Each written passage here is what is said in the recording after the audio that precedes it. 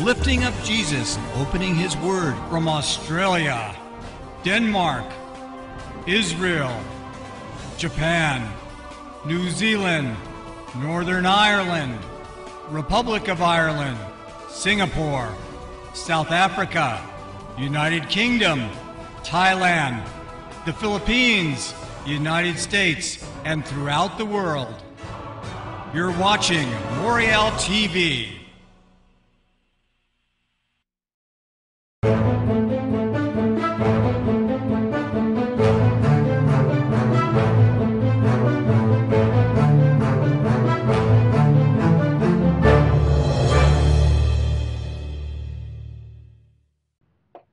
Tim with Moriel TV and Moriel Radio.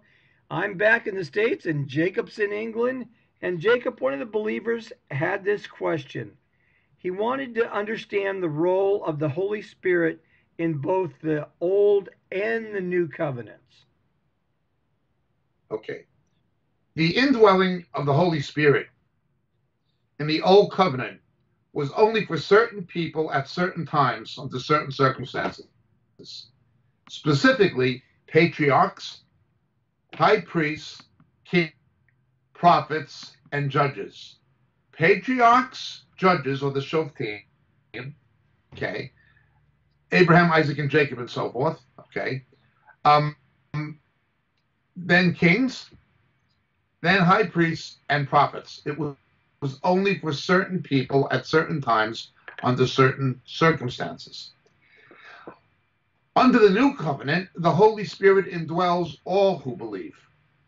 Now, as for the distinction between the indwelling of the Holy Spirit and the outpouring of the Holy Spirit, after Jesus died for our sin and rose from the dead, in John chapter 20, verse 22, he breathes on the apostles the word there, pneuma, and says, Receive the Holy Spirit.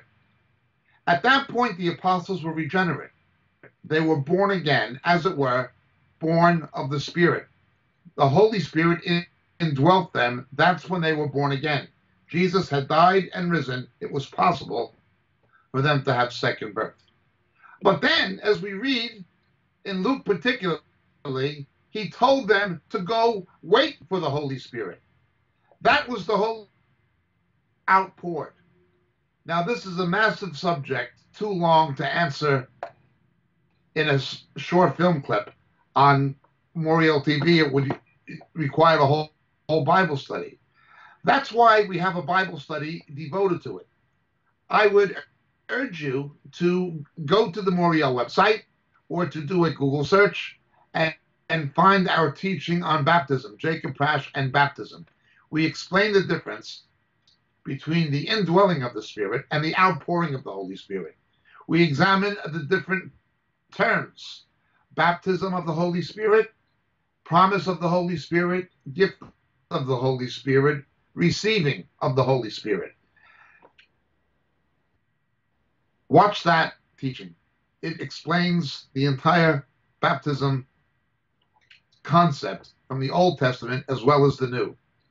Remember in 1 Corinthians chapter 10, Paul gives us the perfect illustration or picture of baptism from the Old Testament Testament, our fathers were baptized in the sea and in the cloud. Actually, it says the cloud, the Shekinah, and the sea, spirit baptism and water baptism.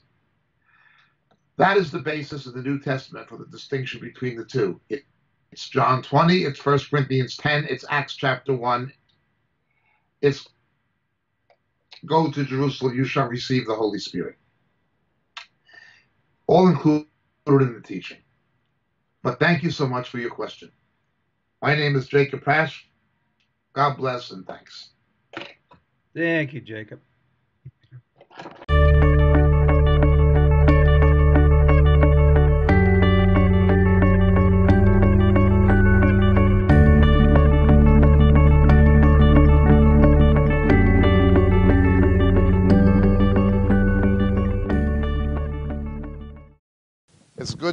You here this morning. In fact, it'd be good to be anywhere. I feel like I fell out of a hearse.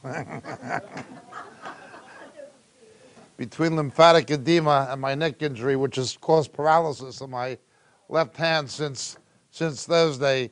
The reason I'm not wearing a tie is I only I couldn't figure out how to tie it with one hand.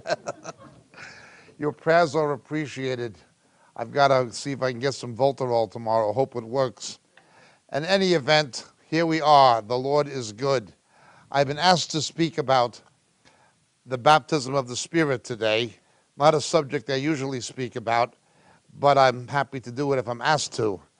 Uh, you know, that hymn we were singing is one of my favorite. Well, uh, we sang a, a number of wonderful hymns today, but the one, Christ returneth, hallelujah. I love that thing. You know, when I just pick up a newspaper and I see that they're teaching kids same sex marriage to little kids, and there's no stopping this stuff. I just, come, Lord Jesus. You know, I don't know, I don't know any other way to stop it. How long? Well, that's a good, how, how much longer can it go on like this? You know, I, I love my grandson, but what's he growing up in? I mean, it's just diabolical how long he's coming, but he's placed us here at this time to prepare the way for his coming. That's what we have to focus on. The baptism of the Spirit. You know, ours is not a God of confusion. And I've seen so much confusion concerning this particular subject. I've been to meetings, and you have too, where they talked about this, and then they told people if you've never been baptized in the Spirit, come up and we're going to lay hands on you. And there's actually places in America you see this. Just say whatever comes into your head and move your lips like this, trying to get people to speak in tongues and because they believe that's initial evidence or something like that. I've seen so many people. Then there's the arguments between the oncers and the twicers. No, you it happens when you're born again. No, there's a second experience in grace. You know, there's a second. The arguments between the oncers and the twices. That's another big one. Then there's the cessationists who have the erroneous belief that the gifts of the Spirit ended with the apostles. But then you have the hyper charismatics and ultra Pentecostals who swing on the chandeliers on the other extreme. You've got the lunatic fringe on one, then you got the cessationists on the so much confusion. But you know, the confusion, most of it is not necessary. It's like anything else. If we have a foundational understanding of the fundamentals, you can accommodate the rest. Once you have a foundational understanding of the fundamentals, you can accommodate the rest.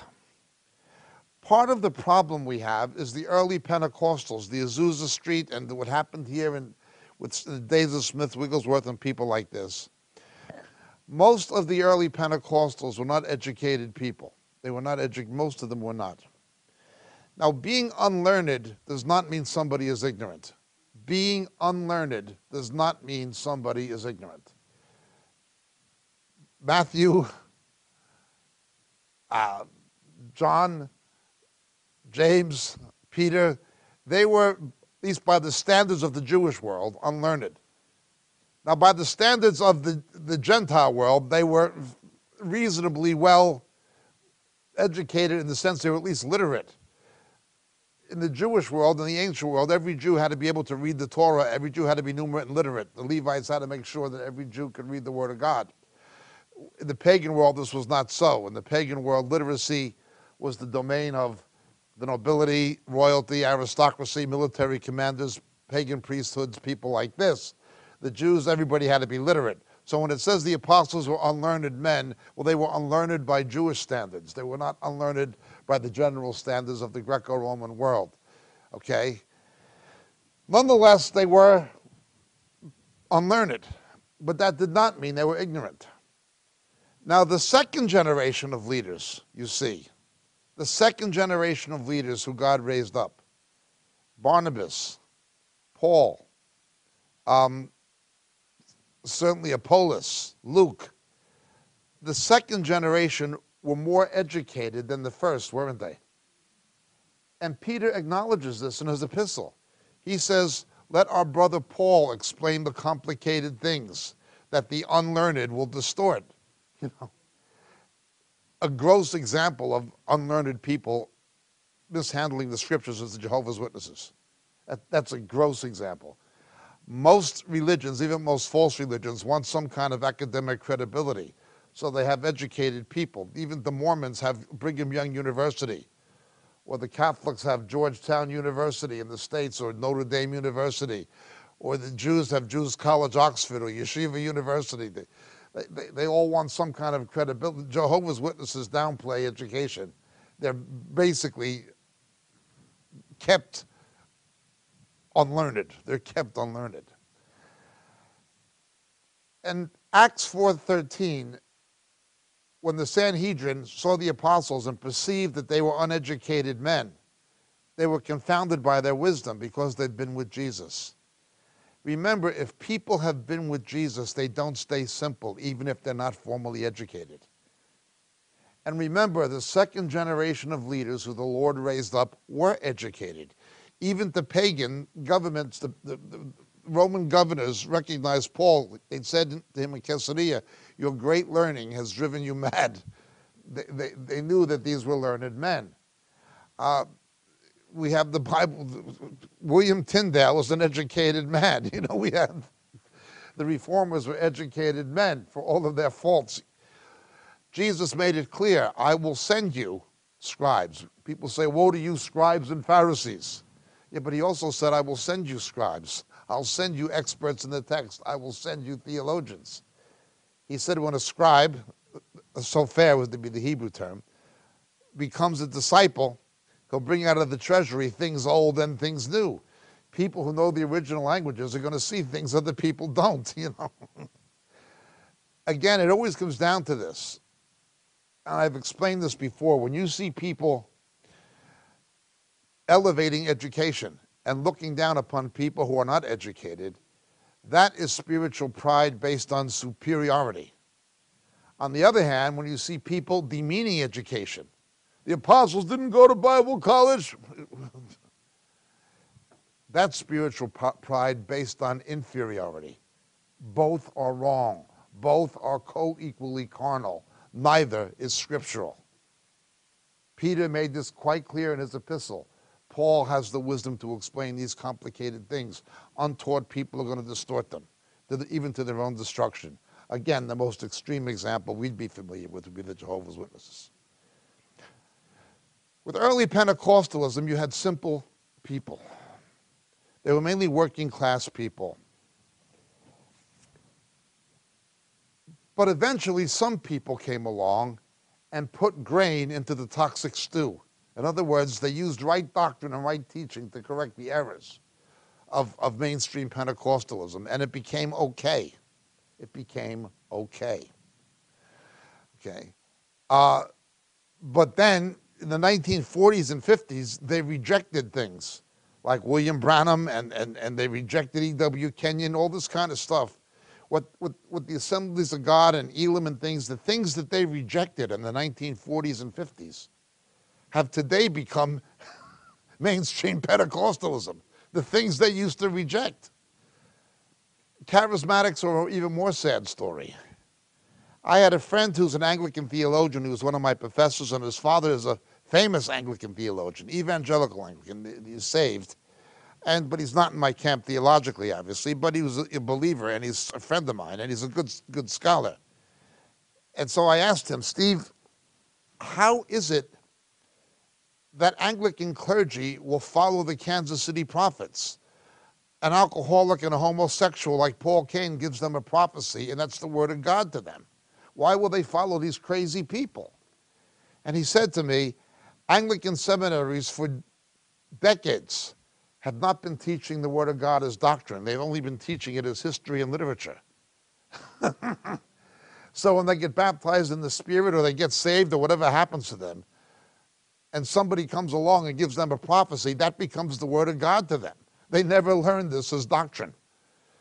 So even education doesn't guarantee anything, does it? You've got educated people who can be just as crazy as uneducated people. You've got people who have formal educations in theology who can be just as wacky as the other ones. Nonetheless, we have to learn what the scriptures actually say. Anybody can understand these basic principles. All of this confusion and experiential theology and lunacy we've seen, most of it is not necessary. And most of the differences among believers concerning this issue of spirit baptism is really unnecessary when we understand the basic mechanics. Let's begin by understanding what baptism is and what it does. Turn with me, please, to one of the most important chapters in the New Testament, I'm convinced. It's 1 Corinthians chapter 10, and it's important for a number of reasons.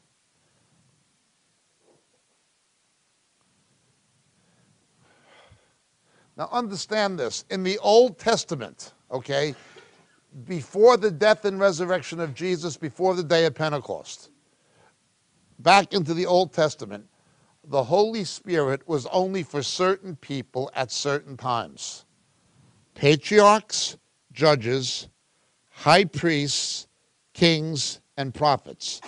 Only certain people had the Holy Spirit at certain times. It's not like now under the old covenant. Let's look now, 1 Corinthians 10. I do not want you in verse 1 to be unaware, brethren, that our fathers were all under the cloud and passed through the sea. They were baptized into Moses in the cloud and in the sea. The cloud is the Shekinah, spirit baptism. They were baptized in the, the Shekinah and the sea, water baptism.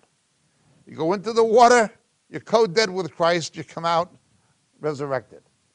Notice it's the cloud and the sea. They were all, and it puts the cloud first. Interesting. It puts the cloud before the sea, puts the spirit before, puts the Shekinah before the water, in, at least in the order of the text. What baptism is and what baptism does is quite simple. Now, the Jews had baptism rituals called mikvah bris.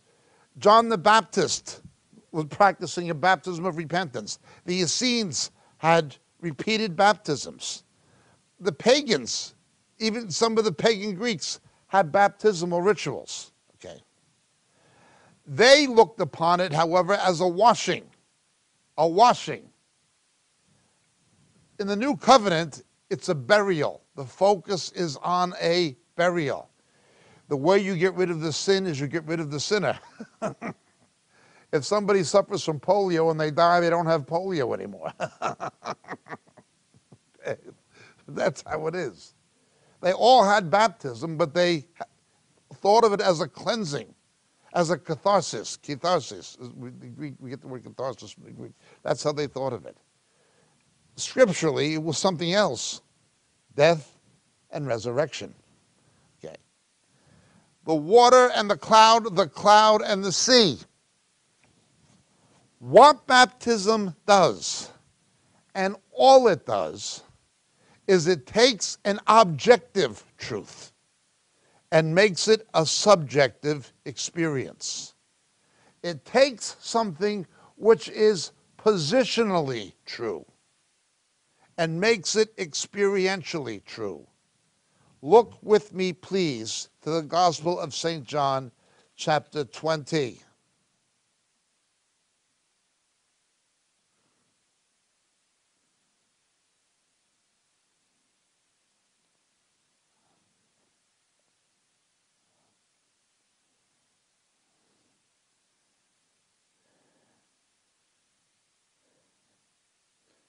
verse 22. Now he has died for their sin and our sin and rose from the dead. He's conquered death. Okay, but Pentecost has not happened yet. It's that gap period. And he states the following When he had said this, he breathed on them and said to them, Receive the Holy Spirit. It was at that point the apostles were regenerate. It was at that point they were born again. But then, why does he go and tell them to wait for the Holy Spirit? Why does he tell them to go wait for that which they have already received? This begins the confusion. There are two ways this can be explained at least. The first is from Romans chapter 6. We are baptized into his death. If somebody gives up the ghost, they go to be with the Lord, but they have not been, the corpse has not been buried yet. You can embalm the corpse. Subjectively, experientially, they are still with us. It looks like they're asleep. Subjectively, they're with us. Objectively, they've entered eternity. Subjectively, they're still with us. But when you go down to the graveyard and you inter the corpse, the objective reality becomes a subjective one. That which is positionally true, they've entered eternally, eternity, now becomes experientially true. Baptism takes the objective and makes it subjective. It takes the positional and makes it experiential. When somebody is born again, they get the Spirit. That's an objective truth. But the subjective experience is something different. Let's consider holy matrimony. Jack and Jill meet in church. Jack and Jill are attracted. Jack and Jill fall in love. Jack and Jill get engaged. Jack and Jill get married. The preacher says, I now pronounce you man and wife. In the eyes of God, they are one because they have made a vow, most importantly. In the eyes of the church, they are one because they have made the vow in the presence of the witnesses. In the eyes of the law, they are one civilly because they've made a contract. And not least of all, because they've exchanged these vows, they are one in the eyes of each other. I now pronounce you man and wife. You may kiss the bride, Jack and Jill. There they go down the aisle on the honeymoon. When they walk out of that church, objectively, they are one. When they consummate the marriage, the objective oneness becomes a subjective oneness. That which is positionally true now becomes experientially true.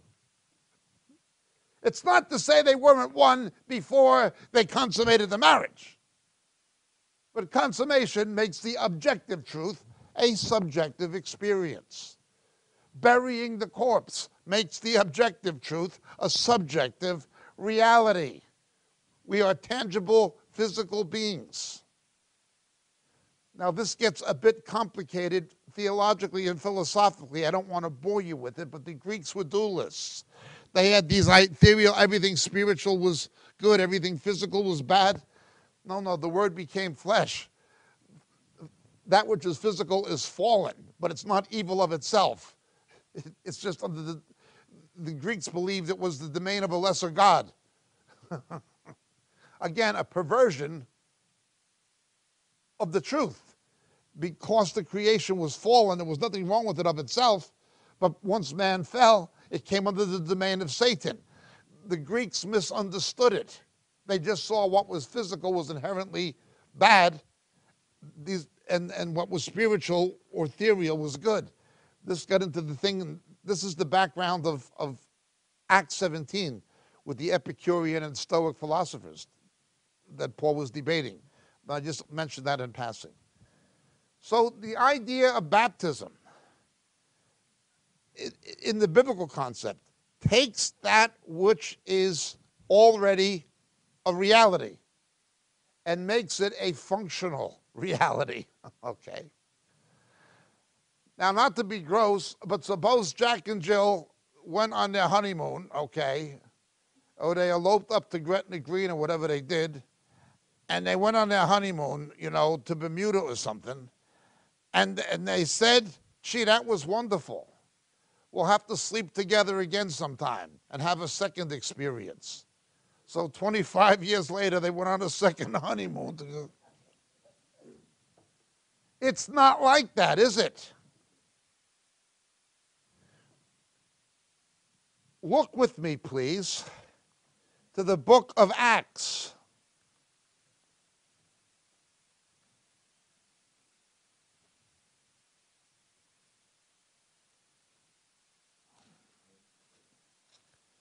Chapter 2.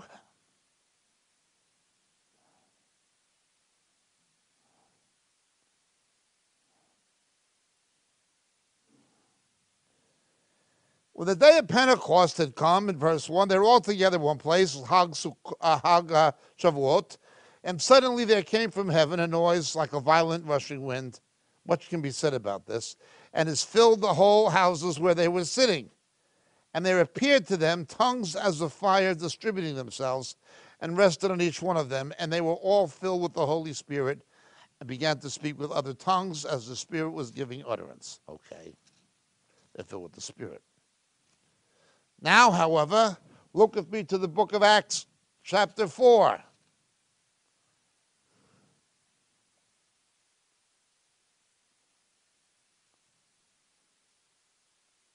Verse 8, same term, then Peter, filled with the Holy Spirit, said to them. Now let's look at verse 31 of Acts chapter 4. And when they had prayed, the place where they had gathered together was shaken. And they were all filled with the Holy Spirit and began to speak the word of God with boldness. Who were they? The same ones that had happened on the day of Pentecost. The same thing happened again. Think about consummating a marriage okay, there's something unique or special about the first time by mere virtue of the fact it's the first time that you consummated the marriage. There's something special about the first time because it's the first time. But it's ongoing, isn't it? It's not a once or, a twice.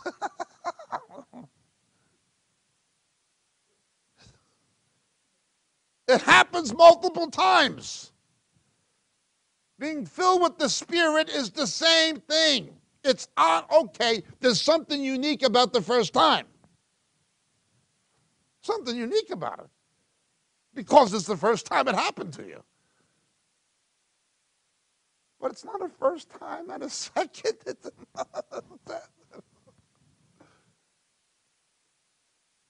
now, there is a relationship between gifts of the Spirit and the gift of the Spirit. These should not be confused.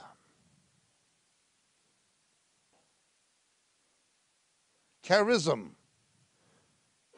Okay. This means grace. Gift of the Spirit is not to be confused with gifts. The gift, Dorea. Think of that as a present, like a birthday present or something like that.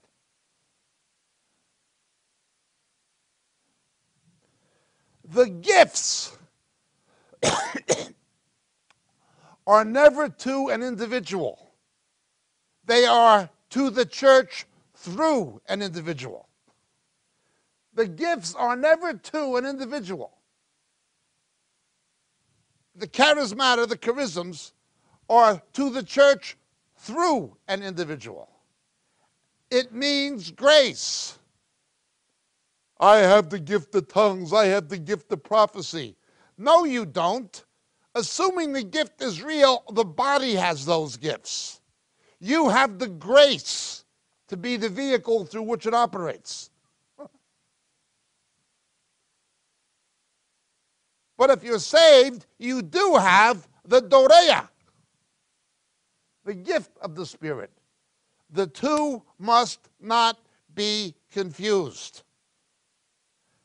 People confuse the two, and so they think if there's no tongues or charismatic manifestation, you don't have the. They're confusing two related but different things. They're confusing two related but different things. Everybody understand?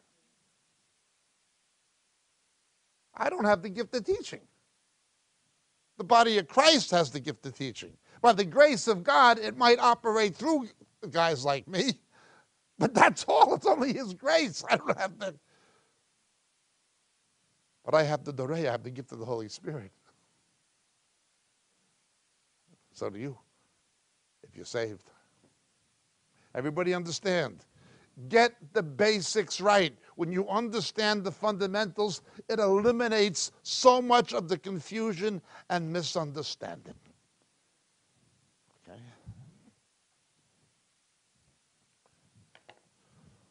One baptism, many fillings.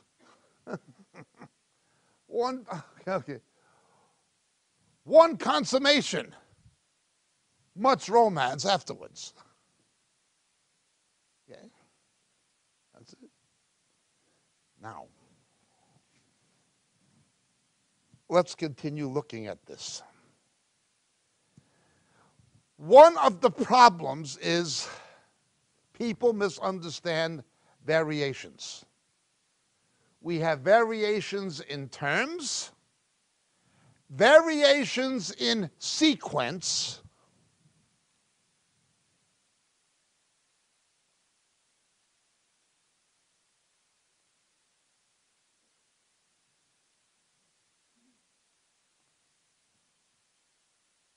in terms.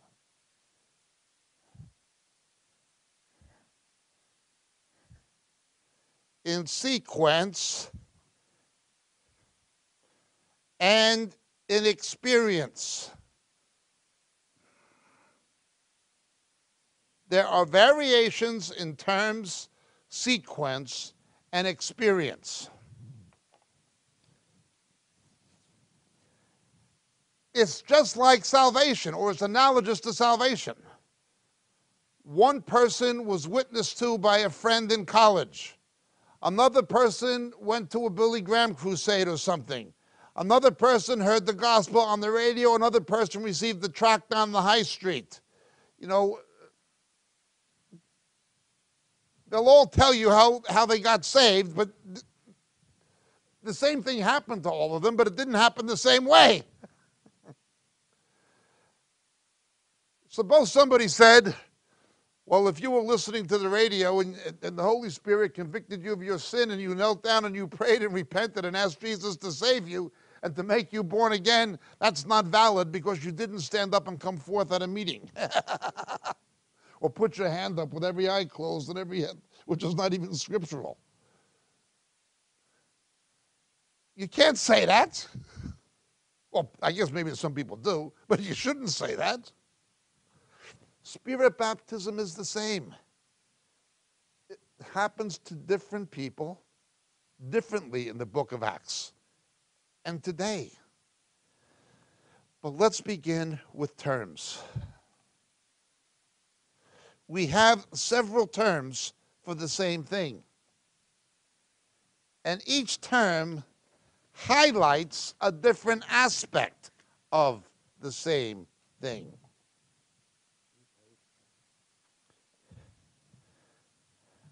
Let's just begin with the terms.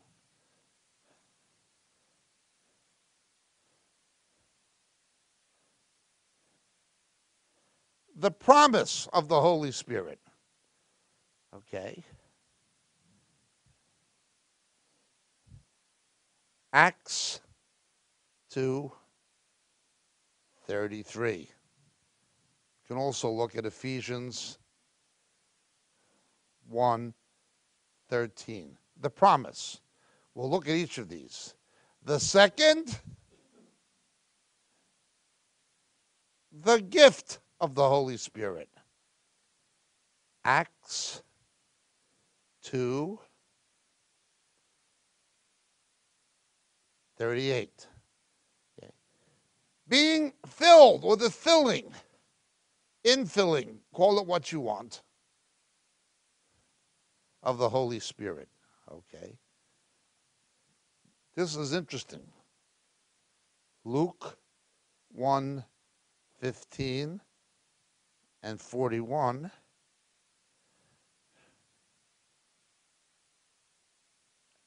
Acts 2 4. Okay. Then, in addition to the promise, the gift, and the filling, we have the baptism of the Holy Spirit.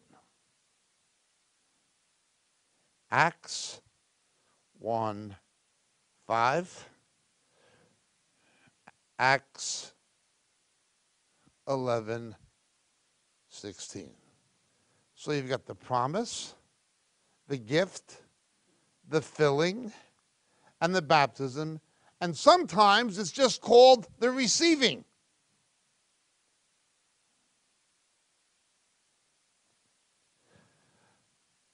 Like the believers in Samaria, they only had the baptism of John, remember? Did you receive the Holy Spirit? When somebody takes their term and makes a template out of it and insists everybody uses their term, are you spirit filled? Have you been baptized in the Spirit? Have you received the gift of the Spirit? This is going to lead to confusion. Each of these terms are not exactly synonymous, but they all speak of the same thing, highlighting a different aspect of the same thing. For instance, let's look at the book of Acts, chapter 2, the day of Pentecost, verse 33, something very familiar to us.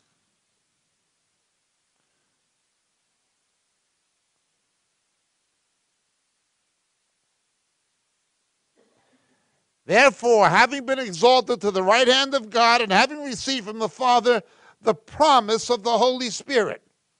Okay. Well, there is some aspect of the promise of the Holy Spirit describing Spirit baptism that makes it unique in what it's emphasizing. It's highlighting some aspect. What is that aspect? Well, we read what that aspect is, for instance, in Ephesians chapter 1, verse 13.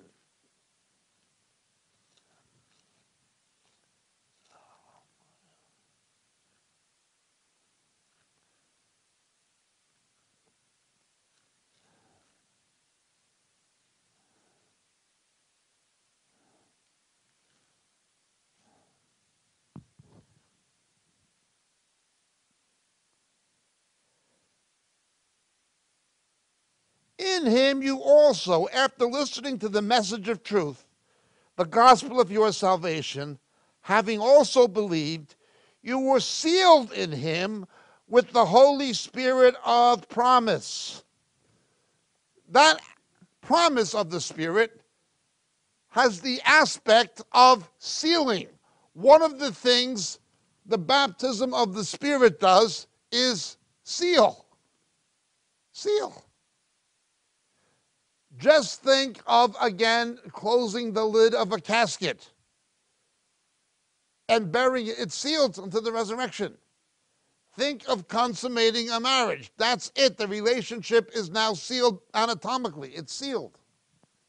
Okay. The promise highlights the aspect of sealing. That is one of the things spirit baptism does is seal people.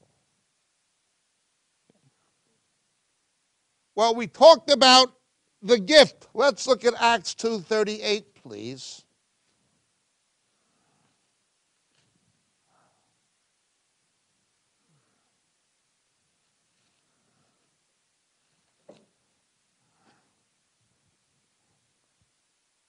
Peter said, Repent and each of you be baptized in the name of Jesus Christ for the forgiveness of your sins, and you will receive the gift of the Spirit. That is the salvation aspect. When he breathed on them, he said, Receive the Spirit, the gift of the When you're born again, you get the gift of the Spirit. What happened on Pentecost was what had objectively transpired in John 20 when Jesus rose from the died for their sin and rose from the dead and breathed on them. The, breath, pneuma. Okay. Became a subjective experience, something outwardly visible. Now, we next have the filling it's important to understand the filling in a couple of ways. Let's look at Acts chapter 11, verse 16.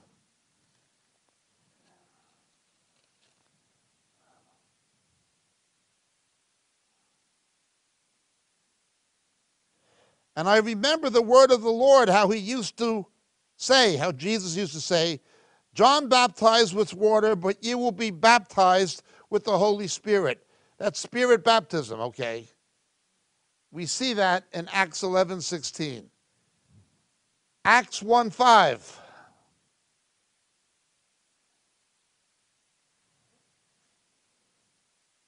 John baptized with water, but you'll be baptized with the Spirit not many days from now.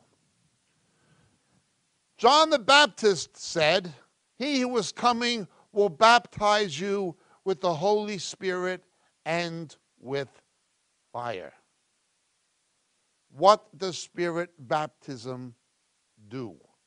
What aspect of the Holy Spirit does the baptism convey?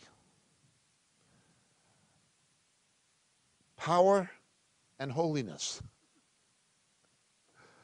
Power and holiness as far as the holiness, in Hebrew, the Holy Spirit is known as Haruach HaKodesh, literally the Spirit of holiness. The church in the New Testament that had to be reminded about the holiness of the Holy Spirit, it was not the confused Thessalonians or the legalistic Galatians. Those churches had their problems, for sure. But the church that had to be reminded about holiness, moral living, escaping from carnality, was the hyper charismatic Corinthians. Not infrequently, you will find far more, sometimes far more, carnality among my fellow Pentecostals and charismatics than you will among fundamentalists. Now, the fundamentalists have their own problems. They're suppressing the Holy Spirit, they, they, they've got their own problems. I'm not saying they don't But, you know, this, this happy, clappy stuff, and it's all experiential, and, and it, it, it, it, it's, it's emotionally charged religiosity that they think is spiritual. That predisposes people to moral seduction. It predisposes people to moral seduction. If somebody is not empowered to live a moral life, they are not spirit filled. You see these, I, preachers who are divorced and remarried with no biblical grounds and they're still in ministry. The power of the Holy Spirit is not in their ministry. Now they can try to augment that deficit with human personality, with human charisma. But what you wind up with is hype, not anointing. You understand? If there is a lack of moral living, you are not looking at a spirit filled life. The other is power. Remember before the day of Pentecost, although the apostles knew the gospel, although they had been born again, they did not have power, boldness. Look with me, please, to what Paul tells Timothy in the pastoral epistle, 2 Timothy chapter 1. Verse 6 For this reason I remind you to kindle afresh the gift of God.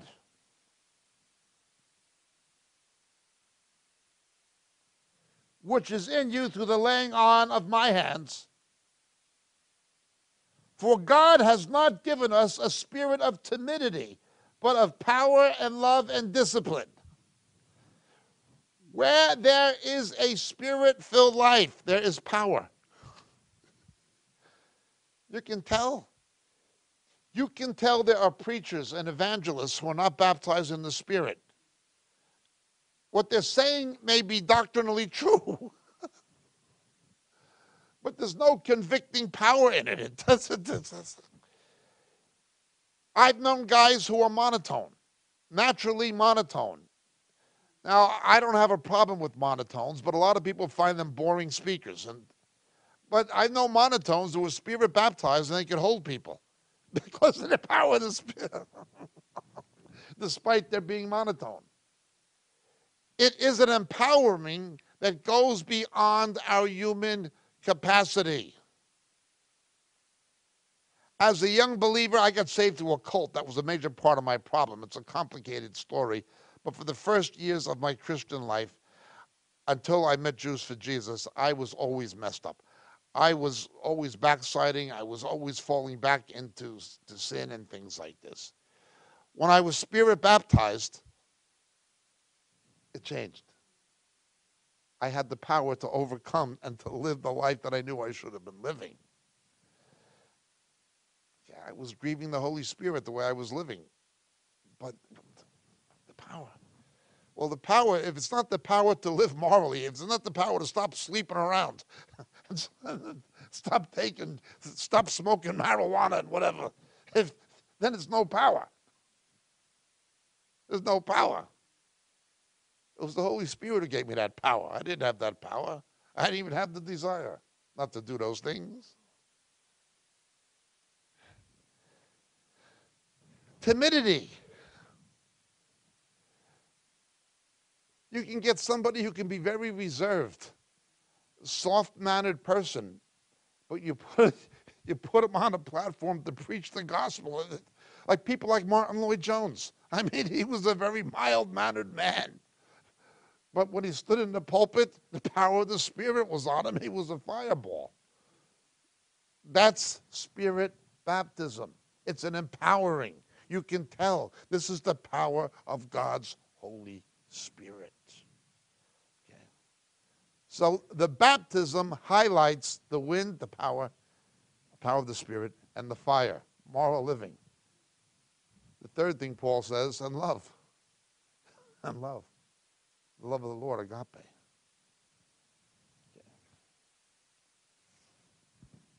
But let's look at the filling now. What aspect does that highlight? Acts chapter 2, verse 4, please.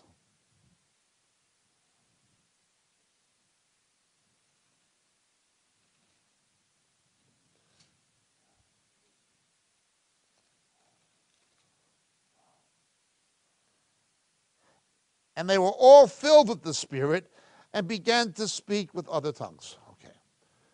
Being filled. Now, what does this idea of filling mean? What aspect of the Holy Spirit is conveyed by calling it filling? Remember, they're all the same thing, but each of these terms highlights a different aspect. Look with me, please, to Acts chapter 1. I'm sorry, Acts, uh, Luke chapter 1.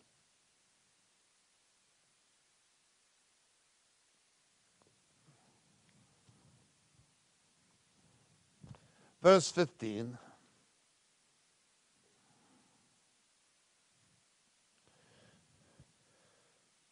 Prophesying of John the Baptist, he will be great in the sight of the Lord drink no wine, in other words, will be a Nazarite, or liquor, and will be filled with the Holy Spirit while yet in his mother's womb. Okay? And then in verse 41, when Elizabeth heard Mary's greeting, the baby leaped in her, and Elizabeth was filled with the Holy Spirit. Okay? Now let's understand this. Pay attention. It uses, okay, it tells the story of John the Baptist and his conception and his relationship to Jesus, okay, and, and relates to many things for the last days, the spirit of Elijah, all these facets come into play. But notice it uses pregnancy. What happens in pregnancy? One person is inside of another. Okay? One person is inside of another. The Holy Spirit was in embryonic John. John was inside Mary. I have Jesus in me. How? You have his spirit in you. Think of being spirit filled means somebody else is inside of you. Another person is inside of you. And that person is the Holy Spirit who conveys Christ to us. Just like in a pregnancy, there's another person inside of you. Wherever a pregnant mother goes, expectant mother goes, she knows she's taking the baby with her. There's two of us now. There's a baby, and, and the, the, the more plump she gets, the more she thinks about it. The kid begins kicking around, she becomes very cognizant of the fact that there's another life inside of her. Well, being a Christian is the same thing. The longer you walk with the Lord, the more cognizant we should become that there's another person inside of us. Okay? Another person inside of us. Okay? So filling conveys the idea of another person being inside of us. Now, obviously, the satanic counterpart of this is, is demon possession. Demon possession. Instead of the Holy Spirit, there's a demon in them. That's the satanic counterpart of it. So the aspect of baptism has to do with holiness and power. Okay.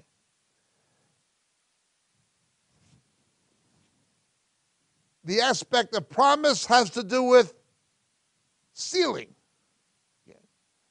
But the aspect of filling has to do with being indwelt by another person.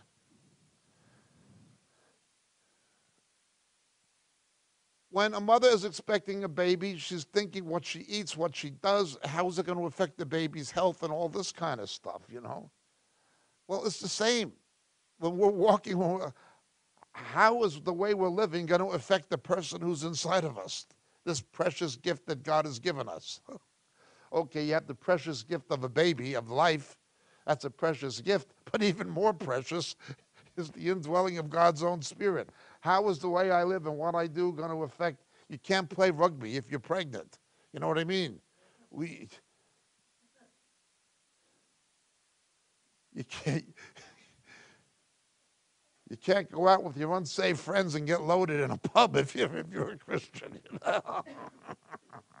it's going to affect the person inside of you. You're always conscious this person is inside of you. That is the aspect highlighted by filling.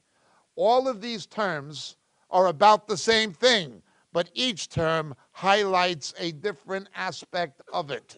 Everybody understand? Now let's talk about the variations. We had variations in terminology. Let's talk about the variations of experience.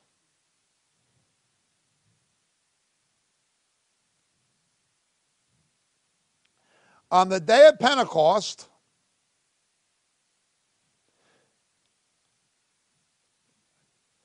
we are told they were all filled with the Spirit and began to speak with other tongues. Okay, as the Spirit was giving utterance. That's important. They did it as the Spirit gave utterance. Now, we are told the list of nations from which Jewish pilgrims came. This was the pilgrim feast, Hag Shavuot, the Feast of Weeks, when the book of Ruth is read in the synagogue to this day. They were amazed in verse 7, astonished, saying, Are not all these who are speaking Galileans? How is it that each we each hear them in our own language to which we were born. In other words, your mother tongue. Parthians, who are Jews from Persia, and Medes, northern Iraq, Elamites, the residents of Mesopotamia, Judea, and Cappadocia. You see Judea? Judea was Jerusalem and its environs. Okay? The mother tongue of Judea was Aramaic. The closest thing we have to what Jesus would have spoken is most almost certainly something called the Peshitta text. Okay. Now, what was the mother tongue of the Galilean Jews from Galilee? Aramaic. They spoke the same language. We know from the Mishnah that they spoke the same language, although with a different accent. They didn't like to let Galilean rabbis read the Torah scrolls in the synagogue in Judea because they couldn't pronounce the differences between the Hebrew letters Aleph and Ein suitably to read the Torah. That says that in the Mishnah. But we know that they both spoke Aramaic. It's like you're speaking with the Northern English accent or a Scouse accent. I'm speaking with the New York accent, but we're speaking the same language. Okay? You cannot prove from Acts chapter 2 that all of them spoke a foreign tongue. If they were all hearing of the tongue of their birth, their mother tongue, and there were Judeans there, and there would have been a lot of Judeans because they lived there. The others were pilgrims, come for the pilgrim feast. Then obviously some of the 120 had to be speaking their normal, everyday Aramaic. you cannot even prove from Acts chapter 2 exegetically that they all spoke another language. You can't prove it. Some of them obviously had to be speaking Aramaic, which is what they spoke every day anyway. People take that and they try to. What they do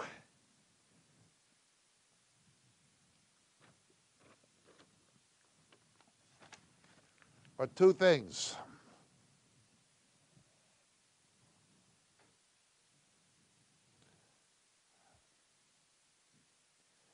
They confuse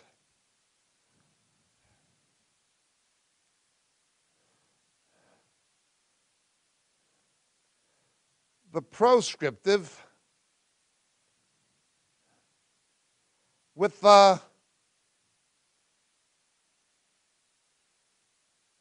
descriptive. the text is descriptive. It's describing what happened. It's not saying you should do it. there are other places where you had spirit baptism where there's no mention of tongues. Let's look at a few of the other turning point instances. Look with me to Acts chapter 8.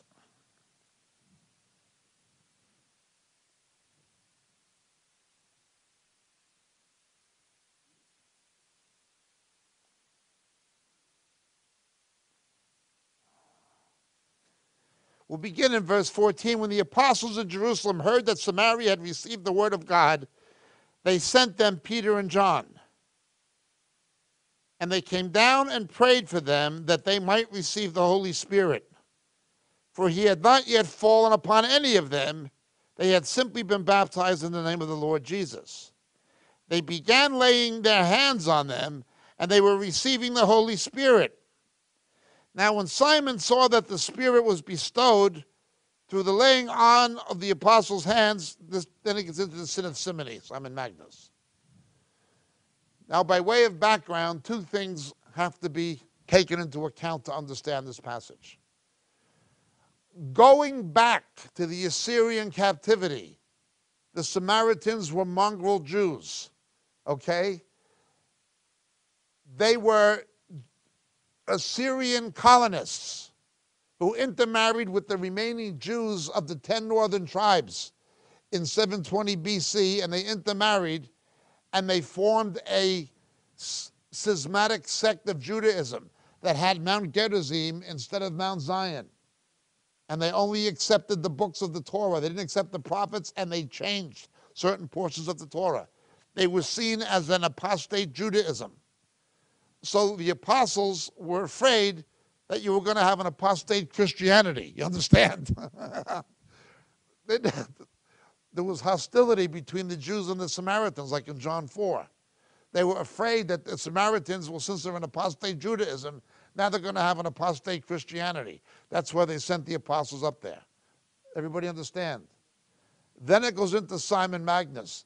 When you read Eusebius, Simon Magus was a bigger deal than the book of Acts relates. He was international, he was an international major, major figure who everybody in the Eastern Roman Empire knew about for, for doing magic and things like this. He was a sorcerer.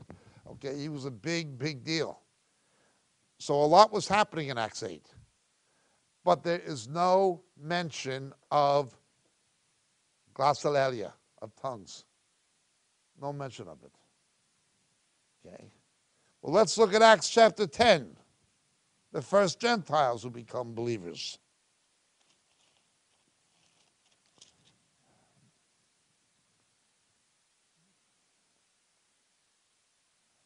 Verse 44 While Peter was still speaking these words, the Holy Spirit fell upon all those who were listening to the message. And all the circumcised believers who came with Peter were amazed because the gift of the Holy Spirit had been poured out on the Gentiles, for they were hearing them speaking with tongues and exalting God. Now, now you do have tongues. Sometimes you do. Sometimes you don't.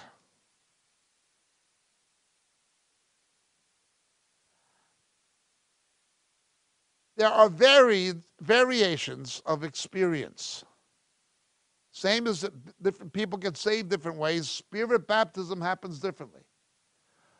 For me, when I was baptized in water in a brook in Pennsylvania in America, I came out of the water and the Holy Spirit hit me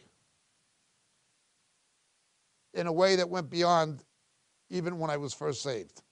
I mean, that was the first bolt of lightning. But when I was, that was me. It changed me. I was never the same after that.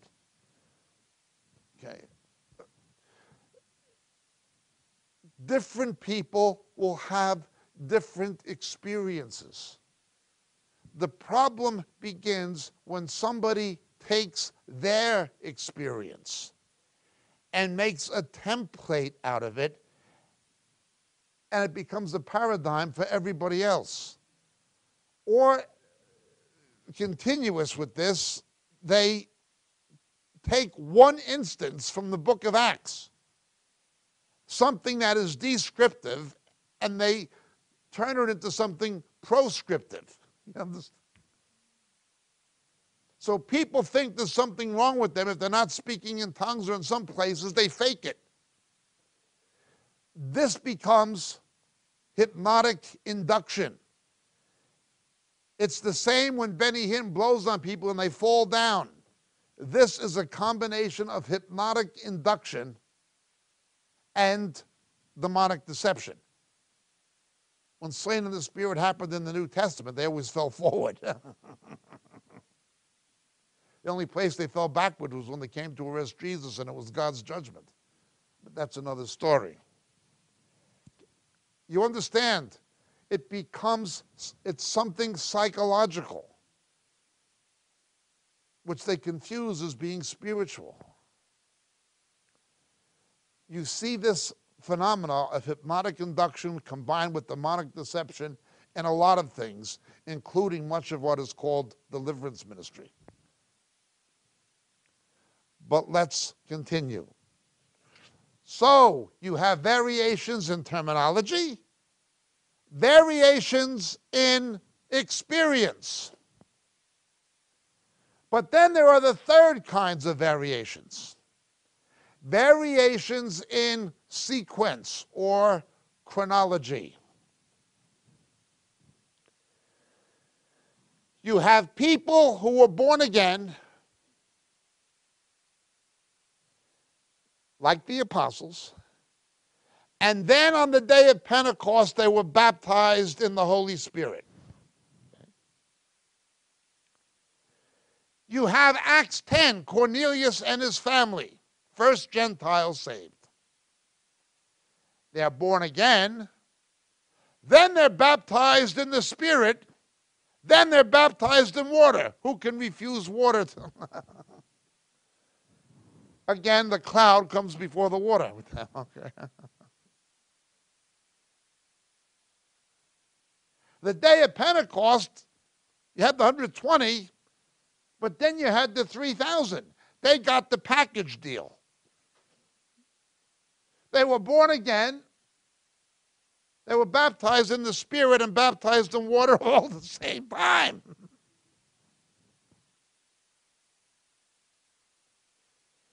You can have people who get saved, baptized in water, then baptized in the Spirit. You can have people who get saved, baptized in the Spirit, then baptized in water. You can have people who have the package deal. The only thing you never have is somebody being baptized who's not saved. the insanity.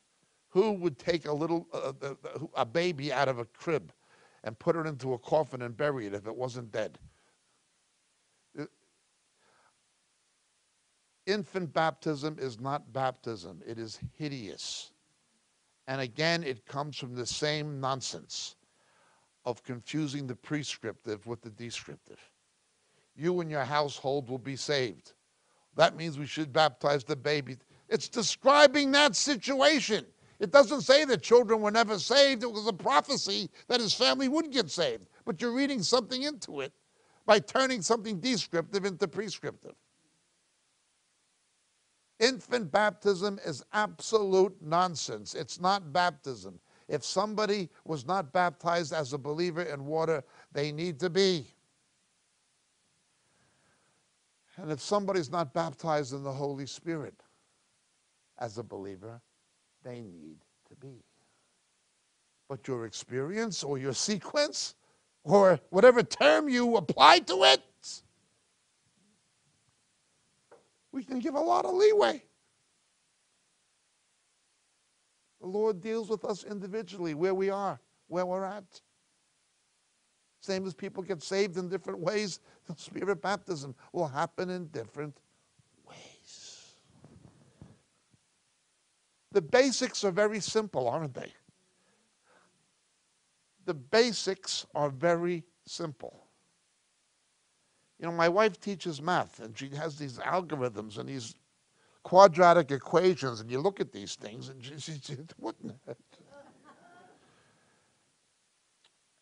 She can't balance a checkbook. I'm, I'm married to the only mathematician in the world who can't balance a checkbook. But she can take these polynomial equations and these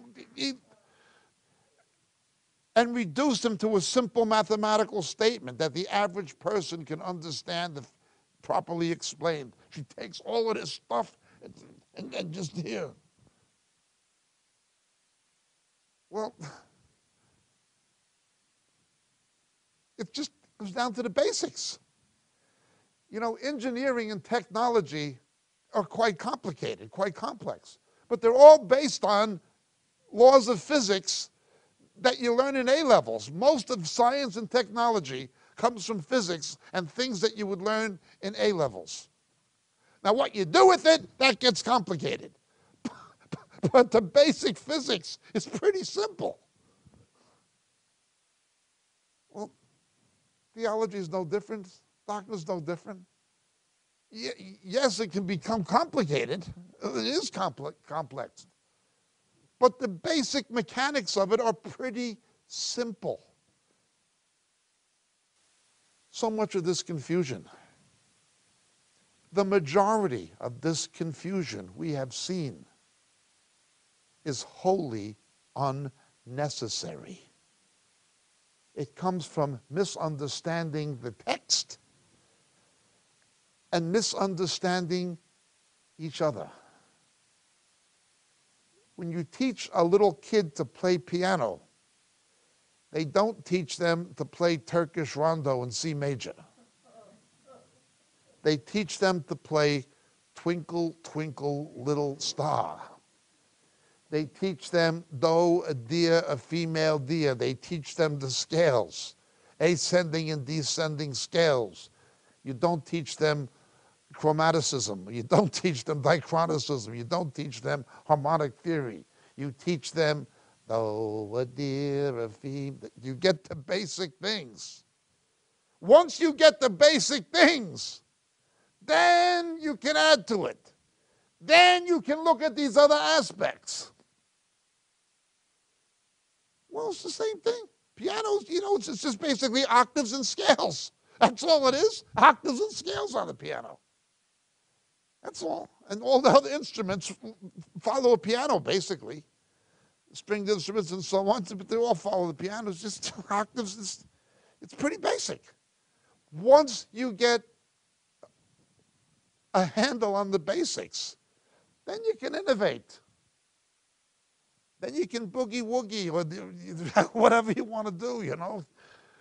But you got to get the basic things. There's a lack of understanding of the basic teachings about baptism, about water baptism and spirit baptism. I guarantee you, I promise you, even if you only understand what we've gone through today, it will clear up the majority of confusion, division, and needless argument and misunderstanding. Get the basics. Once you get the basics, the rest becomes easy. That's the way it is. Now, I don't know what Jeff was, Pastor Jeff was saying these weeks. I just know you've been addressing this subject, and he asked me to address this subject.